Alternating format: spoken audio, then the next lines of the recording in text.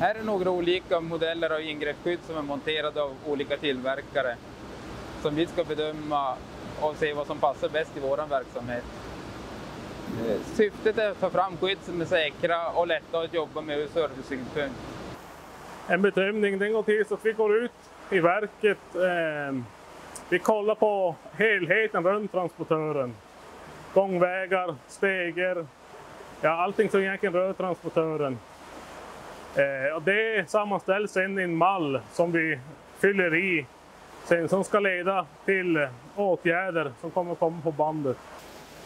Vi vill försöka höja säkerheten på transportörerna men samtidigt påverka det dagliga arbetet så lite som möjligt. Och så långt det går ska vi försöka ha standardlösningar för olika sorters skydd.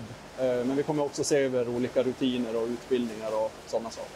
De vanligaste bristerna som vi ser att vi har idag är bland annat otillräckligt skyddade trummor, oskyddade rullar och feldragna nödstoppslinor.